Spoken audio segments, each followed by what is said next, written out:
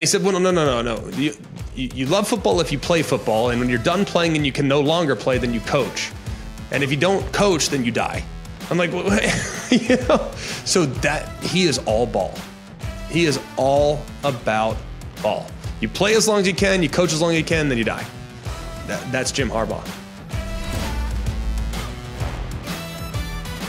Hello and welcome to Always College Football. Today is Friday, January 5th. We hope you're having a terrific week.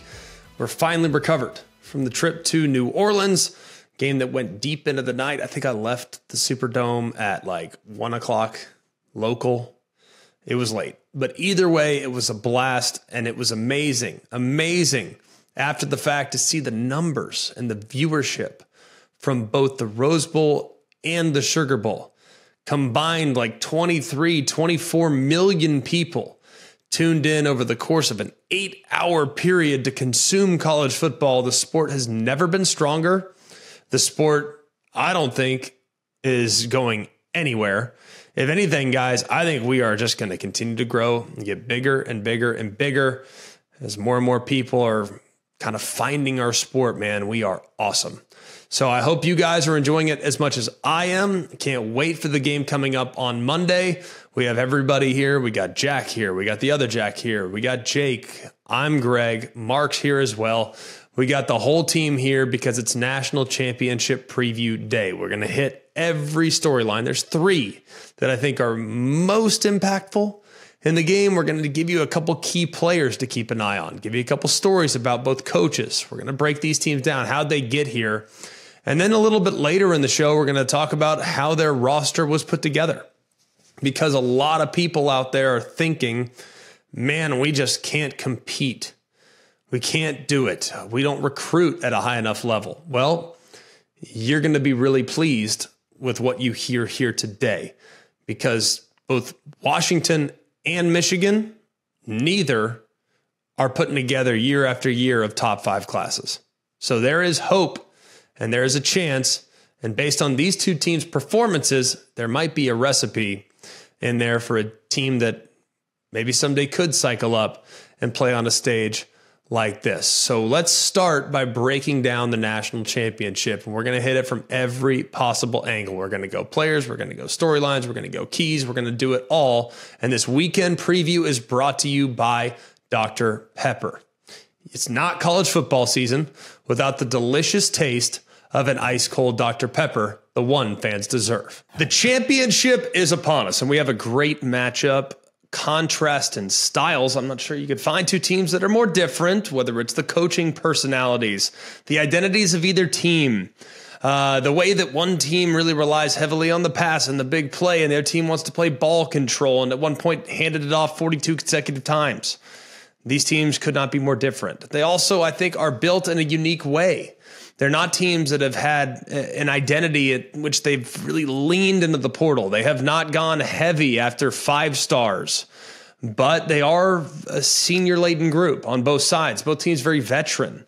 Uh, a lot of 60 year players, great leadership. And I honestly think we look at both teams, culture now wins. Now, culture doesn't win by itself. Okay, I'm not naive enough to think that, well, we love each other in this locker room, so we're going to win the national championship. No, but I really think that these two teams have a very close knit group.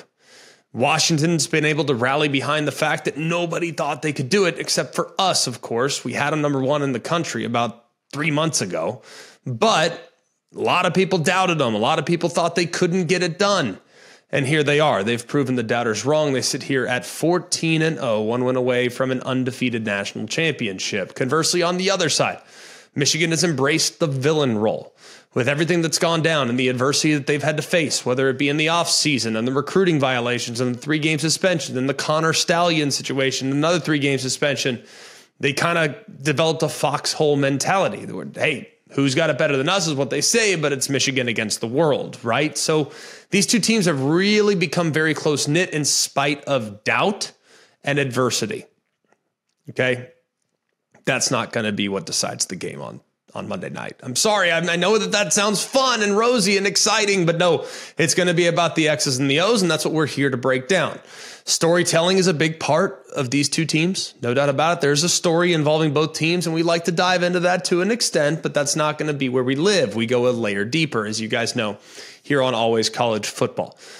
Let's start with the fact that the Pac 12 teams are one and three in BCS and college football playoff national championship games. They've lost three straight. Their only win for the conference came by USC in the 2004 season 2005 national championship. The 250 win percentage is tied with the Big 12, who went 2 and 6 for the worst in any conference. Of course, the Big 12 had two champions in Oklahoma back in 2000 and then the Texas Longhorns who won in 2005.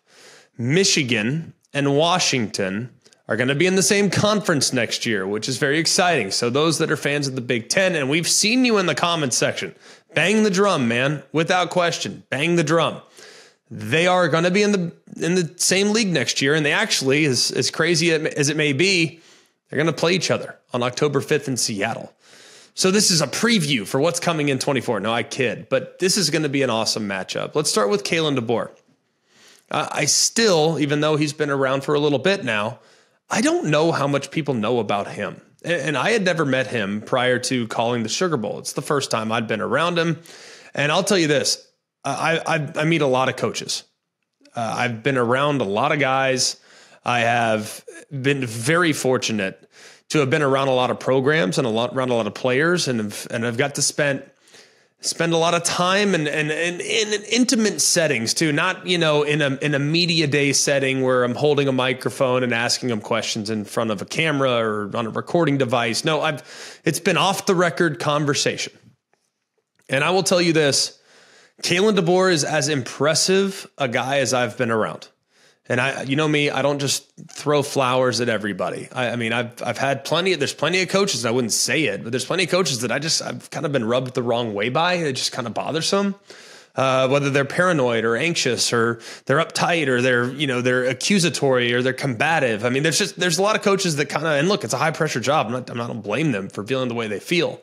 But Kalen DeBoer is probably as approachable and as normal a guy as I've have probably been around. It's it's really remarkable, and the team plays loose under the circumstances because I think he's loose. I mean, he's very much under control, very much the same guy every day.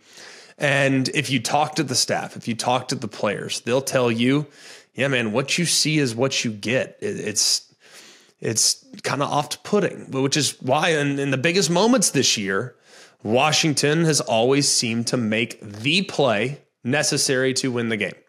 I think their coach is never too high with the highs, never too low with the lows, and he's done a terrific job in his second season at Washington. I mean, last year they were 11 and 2. Now they've taken a big step forward. And with the win on Monday, he'd become the first head coach since Gene Chizik in 2010 at Auburn to win a national championship within their first two seasons at the school couple other guys that have done this. It's, it's pretty remarkable. Urban Meyer has done this, one in his second season at Florida. So there's it's a it's a pretty short list of guys that have won championships within their first two years.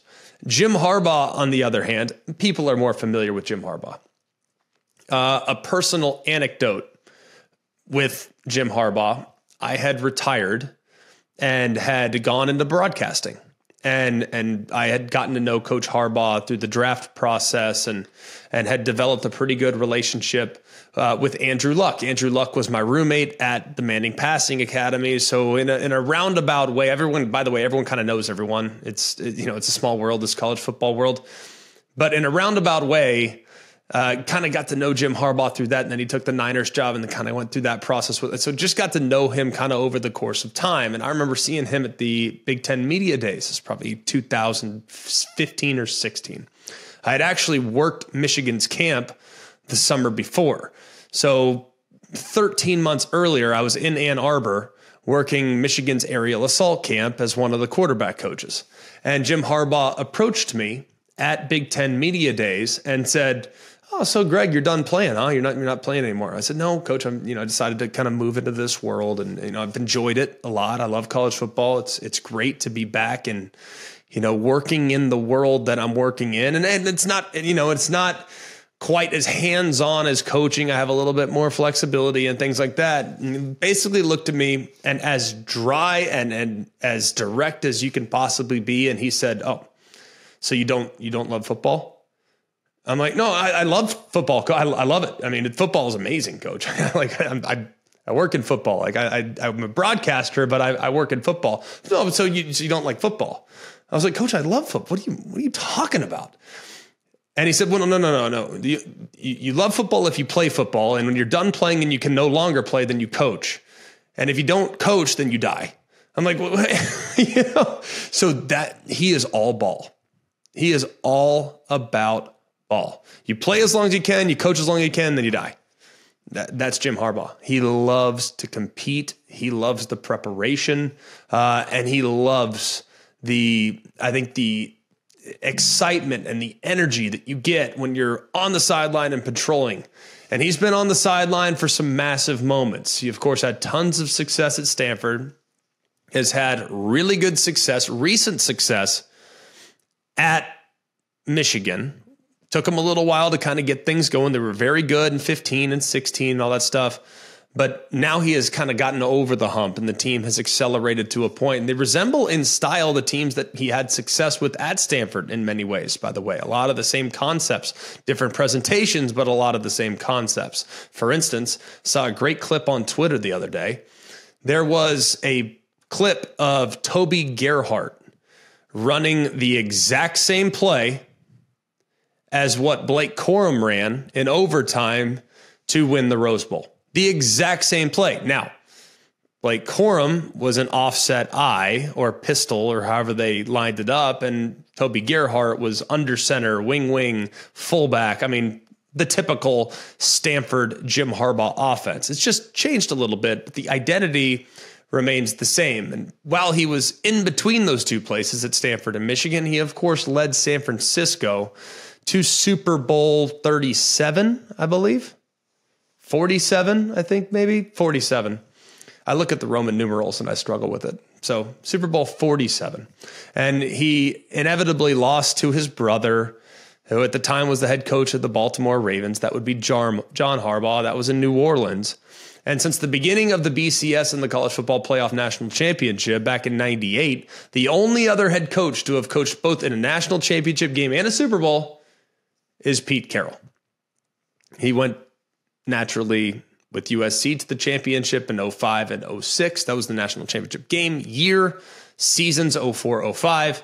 And then he made two trips to the Super Bowl, both in Super Bowl 48 and then Super Bowl 49. He lost there in Super Bowl 49, but was victorious in Super Bowl 48. So he has joined elite company with the win there in the Rose Bowl to punch his ticket to the national championship. Washington has won 21 straight games, uh, but that historically has not been a good thing when entering into the national title.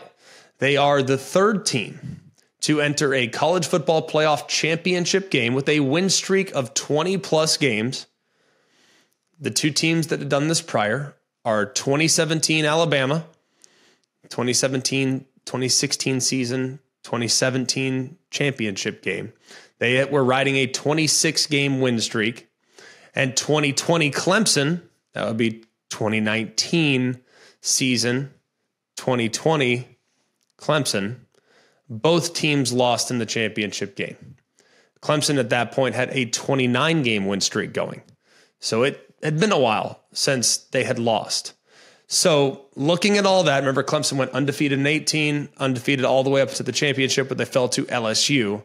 That would be the genesis of the 29 game win streak. But both those teams lost. Uh, the good news is for the Huskies, they are currently an underdog and they have thrived in this role under Kalen DeBoer. They are 5 0 outright as an underdog over the last two seasons, which includes their win last Monday uh, against the Texas Longhorns. Have you ever dreamed of hitting the road in your very own customized Mercedes Benz Sprinter? Follow college football all season long by hitting all the biggest games in college football's most celebrated stadiums. At ESPN, we dreamed that dream, and with the help of Mercedes Benz, we made it happen. This year, our very own Jen Lada has teamed up with Mercedes Benz designers to create a road ready, fully functional, state of the art podcast studio on wheels. The ride is pure Mercedes Benz with all wheel drive and the latest driver assistance, safety, and tech. The podcast studio must be seen and heard to be believed. A spacious and chill conversation space with mics, camera, and mixing board to capture the action. On board, Jen Lada will be interviewing some of the biggest names in college football. All points to Mercedes Benz for always bringing some extra.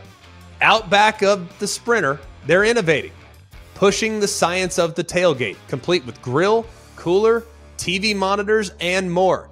This is hashtag van life meets the fan life. To get an inside look to this one of a kind, blow your mind collaboration came together, visit mbvans.com slash sprinter labs. The Mercedes Benz ESPN College Football Podcast Sprinter coming soon to a game near you. So, start with the quarterback matchup. Both are really, really effective. They're just very different and how they're kind of asked to handle their role within the offense. Now, a lot of people, and I, found this to be a very fascinating part of the discussion leading up to the Rose Bowl game. People kind of became very comfortable in describing JJ McCarthy as a game manager. And, and I, I don't think that's a fair representation of, of what he does. Like all great quarterbacks are also game managers, but not all game managers are great quarterbacks. JJ McCarthy is a five star prospect coming out of high school. Like he is highly touted. He is a very gifted player. He just isn't asked to throw for 430 yards in an effort for Michigan to be victorious. He has to be efficient. He has to make great decisions. He has to just sometimes dink and dunk his way down the field. So his role is very different from that of Michael Penix. Michael Penix has had to drop back 504 times this year. That's the third most in the FBS, and that's nearly 200 times more than JJ McCarthy. He's dropped back just 314 times. That is tied for 64th in the FBS. Michael Penix has 35 touchdowns this year. That's T3 to go along with a career high, an FBS high, excuse me, and career high, I might add, 73 completions of 20 plus yards. You know how many 20 plus yard completions JJ McCarthy has? Well, he has 27 less than Michael Penix, which, if you can do some quick math, that's 46 completions of 20 plus yards. Still a very good number. It's just Penix is at another level with the downfield passes. Now, he has started against Michigan in the past. That was back in 2020. He was actually at Indiana. He went 30 for 50 for 342, three touchdowns, and actually beat the Wolverines 38 to 21. Uh, he had six completions that day that went for 20 plus yards, but that was in a weird time for Michigan. Remember, they weren't very good. They were not very good. So Michael Penix and the team that he played against back then is very different than the team he's going to be playing against this week. Now, Penix has had a historically great season. 4,600 yards, 4648 to be exact. That's the most in Washington history. And he's the first player with 4,500 plus passing yards in consecutive seasons since Patrick Mahomes back in 2015, 2016. If you're unfamiliar with who Patrick Mahomes is, I just can't help you. But that's pretty good company to be in when describing quarterback play. He's also the first player to do it in consecutive seasons in Pac 12 history. Entering bowl season, 19% of his pass attempts traveled at least 20 yards downfield. That's the highest rate in the Pac 12 and the 13th highest rate in the FBS. Just so you understand, the highest rate that Michigan saw this year was actually Taulia Tagovailoa. He threw it downfield 15% of the time. So still, they've seen someone that is willing to toss it downfield, but clearly when you look at Taulia, not nearly as efficient on the downfield pass as what Michael Penix is capable of doing. So ridiculously accurate on the downfield. on those 40 passes where he's just pushing it way down the field, I mean, he's got an unbelievable completion percentage. Unbelievable completion percentage. So 53% of his passes that travel 30 or more yards downfield. And I said this on the broadcast in the Sugar Bowl because it's mind boggling to think about. Passes that are traveling 30 yards in the air, he's completing 53% of those passes. That's an absurd statistic. So he's asked to do a lot. He's the star. He's the guy that Michigan must defend if they want to be victorious. McCarthy, I'm not going to talk as much about him because his contributions to the offense are more pre snap with decision making, the occasional RPO. Not a lot, but the occasional RPO. And more methodical in the passing game. That's why he's completed 73% of his passes. That's the third best in the FBS. And he's got a 22 and 4 touchdown to interception ratio, which is the 10th best in the country. But I always have thought McCarthy, if needed, could do more. It's in there, and it might be needed in this game if the defense doesn't play very well. A little bit of ideology here before we dive into the key matchups. Michigan is an offense that is somewhat comparable to Texas. Now, you're going to say, hang on a second, they're they're not Michigan, maybe not crazy deep at receiver. Um, they're way more run focused. They're going to use more big bodies in their personnel groupings. Yes, all that is very true. But Michigan is a motion based offense, just like Texas is. Michigan uses motion on 58% of their plays. That's the third highest in the country behind Florida and LSU. Texas was around 53%. So Texas is up there, and Washington is already prepared for a team that likes to really hit it on the move and hit it on the run. So that application from what they practiced in their bowl prep leading up to the Sugar Bowl will be ap- applicable in this game as well. So Michigan's going to change the picture and it's going to force Washington to communicate on the fly. And if Washington can do that, they have a real chance of maybe slowing things down a little bit. There's three matchups that I think determine this game. Number one, can Michigan create pressure against Michael Penix? Michigan's pass rush is among the best in the country.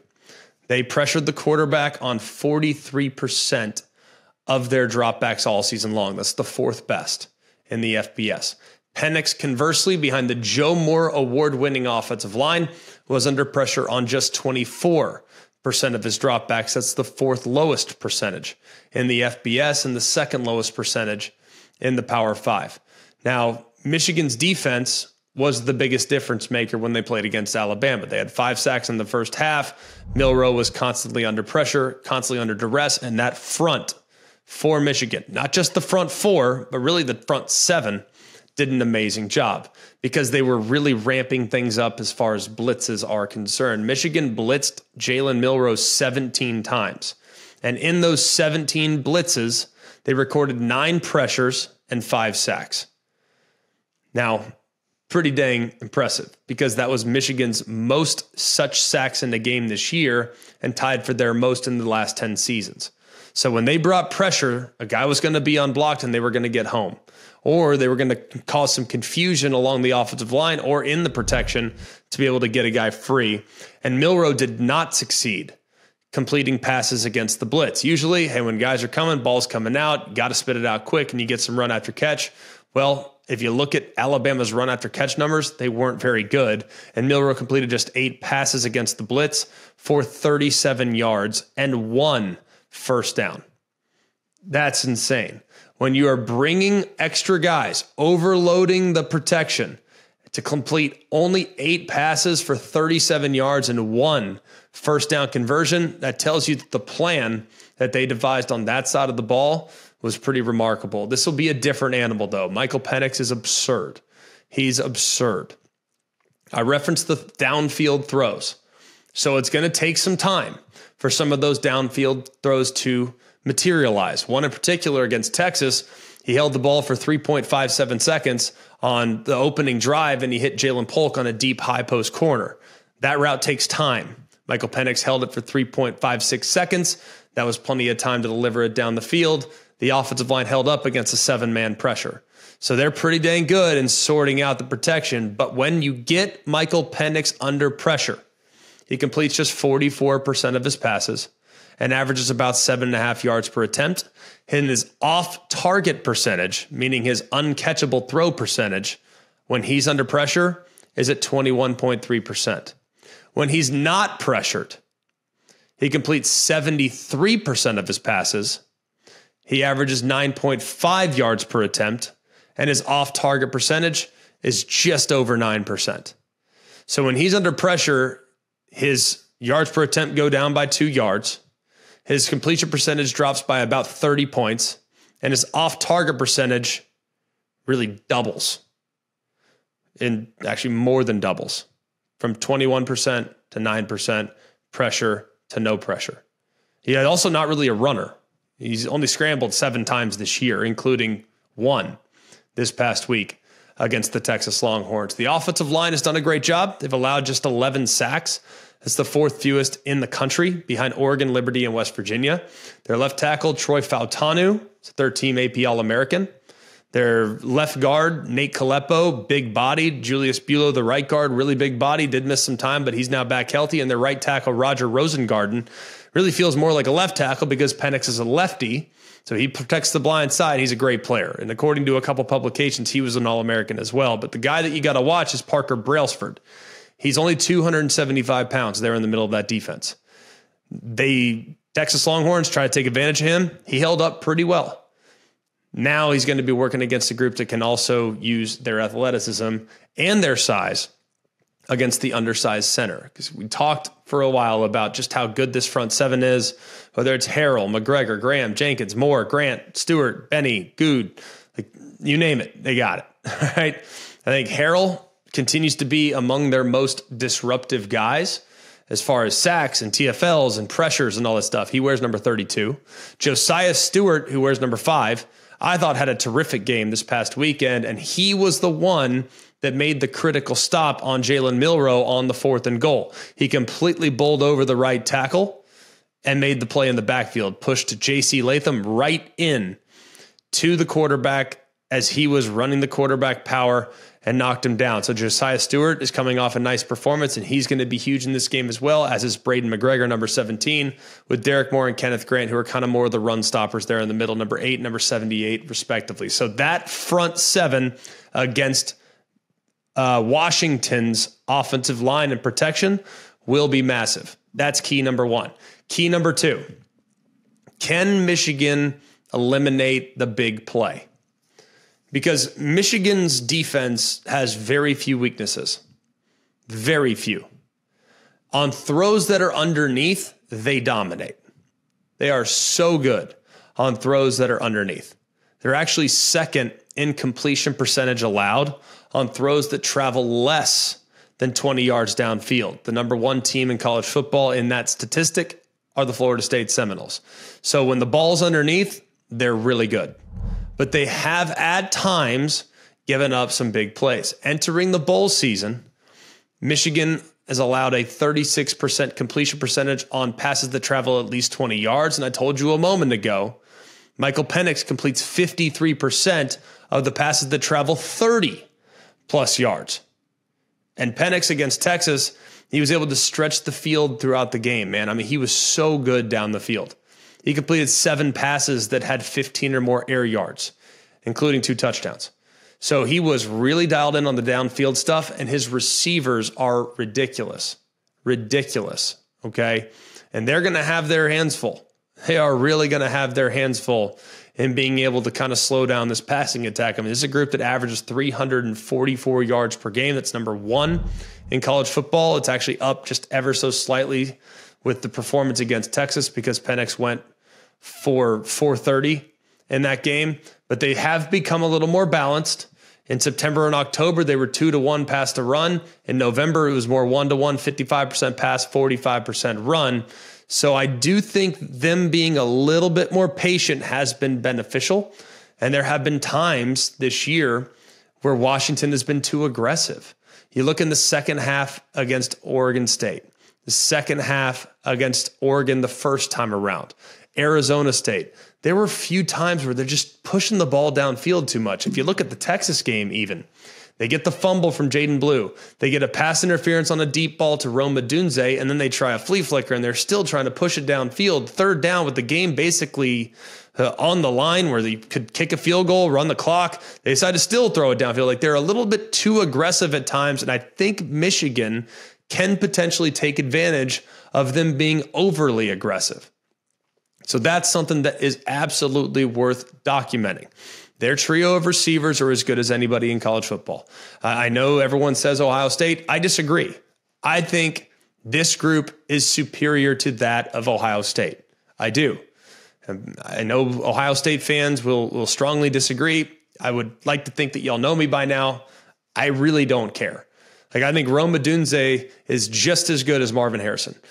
Big physical wide receiver, can stretch the field and did so multiple times against the Texas Longhorns. He's crazy productive, has a million targets, has gained 80 plus yards in 13 out of 14 games. The only game he didn't was against Arizona where he had 64 yards. He's at 100 plus yards and a bunch as well. He's gotten stronger and he makes a ton of contested catches. He actually has 24 contested catches this season. That is ridiculous. That leads college football. Probably because he gained 14 pounds of good weight this year, so he can become stronger when the ball's in the air. Now, Ja'Lynn Polk, really good as well. He also has a bunch of contested catches. He has 20 contested catches as well. So he's in the top six or seven in college football as well. You got Jalen McMillan, who might be their most complete wide receiver as far as route running, run after the catch, creating separation. And if you talk to Steve Sarkisian, the guy that stressed him out the most, what they had to defend was Jalen McMillan because they move him around. He's very capable at a bunch of different places. Jack Westover, don't sleep on him as a tight end. He's excellent. Devin Culp was a little banged up in the game, but if he is healthy and available, he ran 10 6 in the 100 meter in high school and he's 240 pounds. So this guy can go, especially with vertical speed. It's going to be huge for Mike Sainristil, who's an excellent blitzer this year. Great feel there in the nickel. It's going to be huge for Josh Wallace. He's got to play big in the back end of this defense. Got to be huge for Will Johnson. Will Johnson is an elite corner. As the primary defender, He's allowing a QBR of 6.4. All right. He's given up just 13 completions this season. I mean, he's the real deal. So that trio has to be at their best when playing against this team. And they did a really good job against Alabama, limiting big plays because Alabama was a big play oriented offense. The difference between Alabama is it's not a full fledged attack where they have three or four guys running vertical. They would usually only have one or two guys running vertical. So this is a full court press from Washington trying to push the ball down the field, and they are going to make some plays. They are going to make some plays. It's an inevitability. It will happen. But it's going to be up to the defense for Michigan and, frankly, their pass rush to slow down the big play potential of the Washington Huskies. And then number three, key number three can Washington slow down Michigan's run game? Now, we all know that the bell of the ball for Michigan is Blake Corum, 25 touchdowns this year after the semifinal against Alabama. That's only the most in Michigan history. That's five more than the next closest player. That was Hassan Haskins, who had 20 touchdowns back in 2021. He's also tied for the fifth most in Big Ten history. So he's averaging under five yards per carry. Not a big play guy, but he's going to get plenty of opportunities, plenty of totes. And there at the end of the game, he got stronger against Alabama. Donovan Edwards as well. So this is a really good tandem in the run game. And knowing the game's on the line, the championship's on the line, I would be highly surprised if there aren't some designed quarterback runs for JJ McCarthy. He has that capability. So he's going to be impactful in the run game as well. And if you look at the numbers statistically for the Washington Huskies, Bralen Trice at times took over the game. He he was amazing against the Texas Longhorns statistically speaking and from a production standpoint the numbers aren't really there but his impact is felt in every game. As a result, people see that number eight. They say, hey, we're going to make sure that we have a tight end over there. We're going to make sure our running back chips out and helps our tackle because he can't block that guy one on one. So, what Washington has now evolved to, they're going to move him around a little bit. He's a great run stopper. He does a really good job creating issues in obvious passing situations. They also have Tuli Letuligasenoa. He's their best run stopper on the interior. And if you ask Washington's defense, he has been their best, their best run stopper all season long. So he's going to have to play at a really high level as well because this rushing attack is going to keep going, going to keep going, going to keep going. They are remarkably patient. Sherrone Moore, the offensive coordinator, does a great job of trusting his offensive line to eventually figure it out and get to the point where they can push teams around in the third and fourth quarters. They are also probably going to play some keep away. So I would anticipate Washington doing a really, really good job trying to stretch the field but I would anticipate Michigan's run game taking the air out of the football as much as humanly possible. Texas had success running the ball. The problem with Texas is Texas could not get out of their own way. They had penalties early, they were inefficient on first down, and as a result, they were getting in third down in long situations. But when they stayed on schedule, when they stayed on scripts, there were plenty of opportunities in the run game for CJ Baxter and for Jaydon Blue. Problem is, CJ Baxter put it on the deck, Jaydon Blue put it on the deck, and turnovers, knowing both these teams' MO, will be very important as well. So, can Washington slow down Michigan's run game? That is question number three. I will not be picking the game. I will be calling it on the radio alongside Sean McDonough, Chris Budden, and Ian Fitzsimmons. So I will not pick the game, but I will, like I always do, give you some trends. Number one, Michigan is currently a four and a half point favorite over the Washington Huskies. Uh, now, the betting favorite has won and covered four straight championship games. But in the first five years of the playoffs, underdogs were three and two outright and five and zero oh against the spread. So early on in the playoff, underdogs very successful. But as we now have come full circle here, these last four years, the favorites have hammered when it comes to winning the game and winning the game at times convincingly. Another note in this one as well overs are six, two, and one in college football title games. Now, for Washington this year, overs are eight and six. And for Michigan this year, and this note surprised me, they are seven and seven. So, overs in Michigan games involving ranked teams are actually five and two. So the trends, the recent trends would tell you Michigan, and the recent trends would tell you the over. Like I said, not a pick, just telling you the trends so you can choose accordingly. Every college football season, Goodyear knows the importance of winning on the road. The road will always demand confidence the confidence to handle whatever the journey brings and to perform under tough conditions. And just like the players and fans of college football, Goodyear is ready. Are you ready for the road? Visit Goodyear.com to find the right Goodyear tires for whatever road you're on this season. Goodyear, more driven. I've heard all the different people explain just how important stars are and how this and that. And look, I love all the different publications that cover recruiting, whether it's 247. I am a I am a subscriber to 247. Like I I pay them my money too. Like I enjoy that. I enjoy it. I don't I don't have time to watch high school prospects. Like I I just need to I need to uh, I, I like I like I think they do a good job. I think they're well staffed. They put a lot of of resources into recruiting. Uh, On3, very similar. They do a great job. I mean, every all these teams and these people that cover recruiting are awesome. So I'm not disparaging them whatsoever. But there are schools that get the benefit of the doubt. So, for instance, if Ohio State offers somebody, I do think there is some consideration towards improving that player that got offered, improving where they rank, because Ohio State's likely to be competing for championships. And if Ohio State has a bunch of players that are four and five stars, more people are going to subscribe to the service. I know how it works. It's okay. It's not a bad thing. I also subscribe to the service.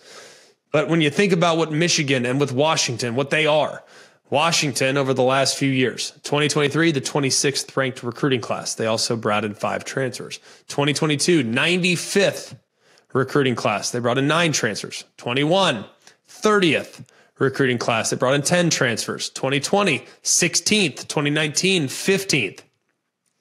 Not one class that ranked better than 15th. But guess what they also have? A bunch of guys that have played a ton of football and a couple of impact transfers that have taken their program from here and risen it up to a significant level. Michigan on the other side, a little bit more success on the recruiting trail, but not outrageous. Not up there alongside the likes of Alabama and Georgia and some of the teams that are constantly fixtures in the top five. They've been 17th. That's where they were this past year while bringing in nine transfers. 22nd. Then 2022, excuse me, they were ninth. Uh, they brought in three transfers. In 2021, they were 13th. They brought in four transfers. 2020, 10th. 2019, 8th. So in the last three years, they brought in 16 transfers. Washington, even in the midst of a coaching change, brought in 24 transfers. They haven't wholesale changed the roster, but the transfers that they've brought in have been really helpful. Really helpful. Veteran leadership is massive. Having a good core is massive. But if you can add pieces that can help you, that is also massive. Let's talk about the biggest transfers for a moment for Washington. Germie Bernard, he's like their number four wide receiver, plays quite a bit, has been featured and utilized in a wildcat situation. He's been really good in the absence of Jalen McMillan. He's got 31 catches for 371 and two scores. He also has 12 carries for 39 yards and two touchdowns. So he's been pretty good after transferring over from Michigan State. Dillon Johnson is a transfer from Mississippi State, started all 12 games, and did miss the Tulsa game, but that was a million years ago. He rushed prior to the last game 201 times for 1,100 yards and 14 touchdowns. He also has caught 19 passes for 148. And if you think about Dillon Johnson, while he was banged up, should be good to go. So that was good news coming out of the game this past week that he's still going to be okay. He has a lingering foot injury, but hopefully it won't keep him out from the national championship. But he's done a really good job against their biggest opponents. Not necessarily always their best defenses, because you look at the USC team. I mean, USC wasn't very good defensively, but USC was a massive game for them, and they needed all 250 plus yards from Dillon Johnson to be able to get them over the top and win that game by 10 points. And then the, probably the biggest transfer they've added, arguably, is Jabbar Muhammad. Transfer from Oklahoma State. He's a corner, and he's the only guy that's started in all 13 games in the regular season and the Pac 12 title game. 42 tackles, bunch of tackles for loss, couple sacks, uh, three picks bunch of pass breakups, forced a fumble. He's been everything they needed him to be. As their number one corner has been the most reliable piece in the secondary for Washington all season long. So, yes, Penix as well. Others have transferred in, but for the most part, it's homegrown guys that didn't necessarily choose to play for Kalen DeBoer, but bought in when Kalen DeBoer arrived and are now playing for a championship. Michigan's a little bit different. Uh, they brought in, like I said, nine transfer players this year. Drake Nugent, probably the biggest one, uh, especially considering they had Olu Oluwatimi last year. Oluwatimi won the Remington and the Outland and was maybe the best center in the country. That was last year. Well, they went back to the portal and they brought in Drake Nugent from Stanford and he's been really good. First team All Big Ten by the coaches and the media. Finishes a finalist for the Remington uh, and has helped solidify an offensive line that had some turnover from last year to this year and was huge considering Zach Zinter was lost in the Ohio State game. Josh Wallace was also a piece that was a really nice addition. They had lost DJ Turner. They had lost Green. They'd lost RJ Moten, which means they had to go and get some veteran experience in the back end. And they got it with Josh Wallace, who transferred over from UMass. So he's kind of been all over the place, played some corner, uh, and got all Big Ten honorable mention from the media and from the coaches. So he's done, I think, a pretty good job of, of playing good coverage and has been really sound. He's also, I think, been pretty physical as well, which has been huge. Ladarius Henderson, uh, after Ryan Hayes left after 22, they really needed Ladarius Henderson to step in and to fill the void. Yeah, made eight starts at left tackle, uh, played in all 12 games. So it might have taken a little time for him to kind of settle in. He eventually established himself as the starter and went on, I think, to have a really solid year. AJ Barner has been huge at tight end. Colston Loveland's the headliner, but AJ Barner, a lot of people think he's got a really high ceiling and has been a piece really from early in the year to give Michigan that 12 personnel, those two tight ends, those big body threats that'll work the middle of the field. He went off uh, against Michigan State when he had nearly 100 yards and a touchdown. And then finally, what about James Turner?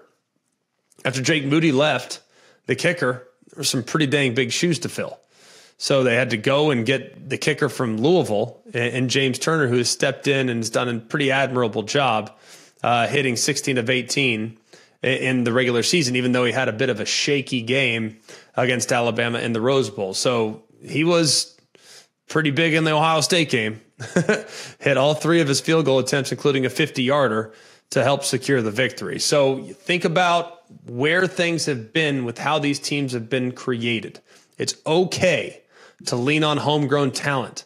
And for those that panic when their team and their recruiting class is filled with three stars and low level four stars, it's okay. They might be just the guys you need to be around for four and five years to buy in without needing NIL support to what your coach is doing. And that's what's happened at Michigan, and that's what happened at Washington. And now they'll tee it up Monday for the national championship. Mmm.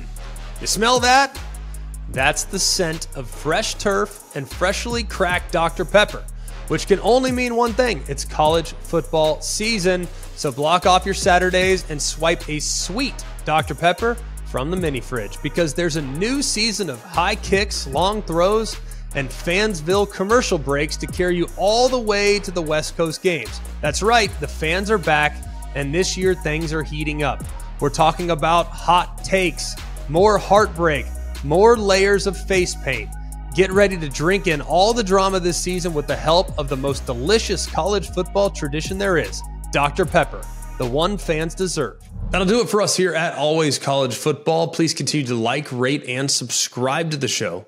Wherever you get your show, it doesn't matter where, just go ahead and like, rate, and subscribe if you could. That'd be awesome. Whatever you rate, you want to leave a review on Apple Podcasts, that's awesome as well.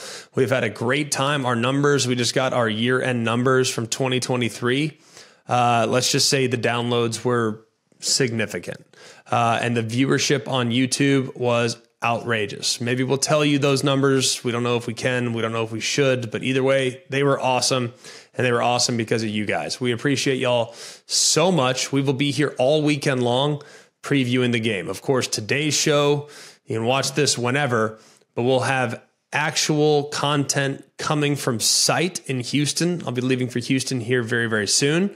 We'll have stuff on Saturday, stuff on Sunday, and of course, we'll have plenty for you both on Monday before the kick and after the game, where I'll be calling the game on ESPN radio alongside Sean McDonough, Chris Budden, and Ian Fitzsimmons. So for all of us here at Always College Football, continue, continue to support the show and know that we're going to be here for you leading up to the biggest game of the college football season. For all of us here at Always College Football, for Mark, Jake, Jack, I'm Greg. We hope you have an amazing day. And remember, it's always college football. Hey guys, it's Greg McElroy. Thanks for watching Always College Football. Make sure you like, rate, and subscribe to ESPN's YouTube channel and wherever you listen to your podcasts.